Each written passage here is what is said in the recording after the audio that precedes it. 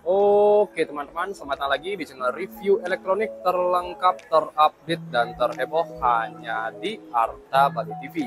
Jadi hari ini teman-teman ya, kita akan mengupdate lagi harga terbaru mengenai speaker Sony di seri SEC X30D. Terakhir kita mereview kurang lebih tahun setahun yang lalu ya untuk speaker Sony ini di seri SEC X30-nya. Dan untuk spesial hari ini kita akan mengupdate harga terbaru karena speaker ini akan mendapatkan spesial diskon ya untuk bulan ini. Dan seperti biasa di sini kita juga akan mereview mulai dari segi tampilan dan fitur apa saja sih yang menjadi keunggulan dari speaker Sony di seri X30D ini. Nah, tapi sebelum video dimulai teman-teman ya, untuk kalian jangan lupa juga terus dukung channel saya dengan cara klik like, subscribe, dan di-share hanya di channel review terlengkap, terupdate, dan terheboh Arta Bali TV. Tanpa basa-basi lagi, kita langsung saja ke penjelasan yang pertama. Oke, untuk pertama di sini kita bisa lihat ya, ini dia tampilan speaker dari Sony di seri SEC X30D-nya. Nanti juga kita akan update seri di bawahnya di seri SEC X10 dan sekarang kita akan update di seri SEC X30-nya. Dari segi kelengkapan speaker ini yang pertama itu kalau kalian membeli speaker ini kalian akan mendapatkan satu set speaker. Yang pertama itu ada ampli, yang kedua itu ada dua speaker di bagian bawahnya. Kita bisa lihat tampilannya kurang lebih seperti ini. Ya. Nah, jadi untuk pengaturan settingannya semua berada di bagian settingan bagian atasnya. Untuk fitur pun nanti saya akan jelaskan ya, kita review dari bagian speakernya dulu. Nah, dari speaker di sini karena dia sudah menggunakan tampilan dua speaker ini jelas dia sudah stereo, teman-teman ya, untuk power suaranya. Di sini juga kita bisa lihat bagian atasnya ada tweeternya dan ada woofer kurang lebih ukurannya 8 inch ya. Lumayan besar kita bisa lihat.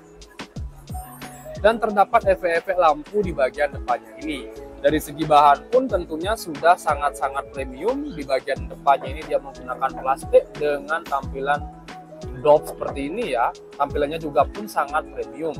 Dari bagian belakangnya pun di sini menggunakan bahan partikel yang punya sangat kuat dan untuk penutup di bagian depannya pun dia menggunakan bahan metal serta terdapat label Sony di bagian depannya.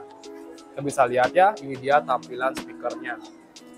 Nah, dan untuk bagian belakangnya pun dia terdapat efek lampu mantul seperti itu ya. Kalau kalian pantulkan ke tembok, dia tampilan warnanya akan seperti itu.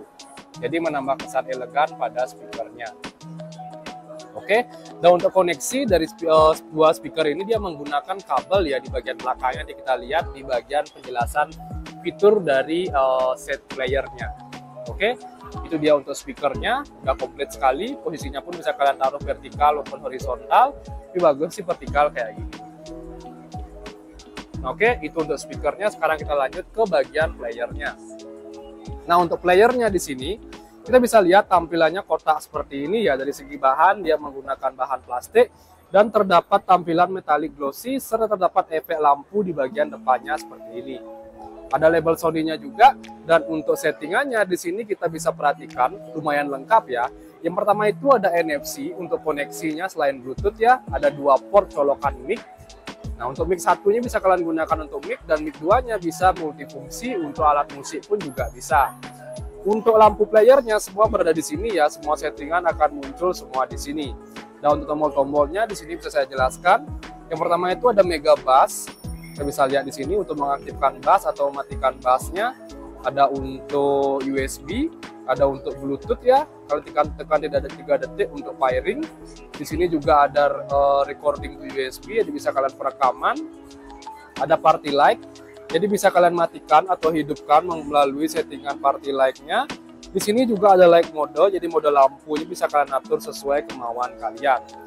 Tombol on off atau tombol play dan di bagian putarannya ini yang pertama itu ada function untuk mengubah dari radio, dari audio in, TV, DVD, USB ke Bluetooth. Ini efek suara, ini itu efek suara juga, ini sound fill juga sama efek suara seperti ampli otomatis ya. Di sini juga ada gitar, DJ off, dan sampler. Jadi ini seperti ada efek-efek DJ lah istilahnya. Untuk volumenya maksimum dia di 50 teman-teman ya. Kita bisa lihat di sini. Dan untuk dan untuk colokan mic-nya pun di sini dia maksimum di volume mic-nya itu di 10 ya. Ada suara efek EO juga, di sini juga DVD juga udah ada. Oke, Dan untuk tampilan belakangnya dari speaker Sony ini kurang lebih set tampilan belakangnya kayak gini ya. Coba kita lihat dulu. Nah ini dia tampilan belakangnya. Ini coba kita lihat. Nah dia juga bisa dikoneksikan menggunakan kabel ya. Kalau kalian mempunyai speaker yang sama, bisa dikoneksikan menggunakan kabel audio partition ini. Ada TV ARC HDMI juga, ada video out, dan antena FM ya untuk radio. Nah untuk kabel-kabelnya ini untuk koneksi ke speaker bawahnya ada dua ya masing-masing ya. Ini untuk audionya, ini untuk lampunya. Nah, Oke, itu dia sih komplit sudah saya jelaskan mengenai speaker dari Sony di seri X30D. Dan sesuai janji saya, saya akan update mengenai harga dari speaker ini teman-teman ya. Tapi untuk pengetesan saya rasa udah nggak usah saya jelaskan lagi ya pengetesan kualitas suara karena sebelumnya kita juga sudah pernah mereview speaker ini sebagus apa suaranya sudah kita pernah tes untuk kualitas suaranya. Nah untuk harganya di sini langsung saja saya update teman-teman ya. Special promo sebelum promo tuh harganya di 9.79 setelah promo kalau kalian bisa langsung ke toko kalian akan mendapatkan harga di kisaran 8.400 ya spesial untuk promo lebaran ya. Saya kasih potongan harga yang paling bagus. Harganya di kisaran 8.400 hanya di toko kami yang ada di Bali ya dengan nama toko Grand Mas Bali. Atau kalian bisa langsung check out melalui link yang di bawah yang sudah saya cantumkan. Nanti kalian bisa langsung beli di sana ya. Kalau kalian tidak ada di Bali kalian bisa check out melalui linknya langsung Oke, jadi kurang lebih itu saja sih untuk review kita kali ini. Untuk kalian jangan lupa juga teman-teman ya, dukung terus channel saya dengan cara klik like, subscribe, dan di-share hanya di channel review terlengkap, terupdate, dan terheboh Arta Bali. Sekian dari video saya, saya ucapkan terima kasih.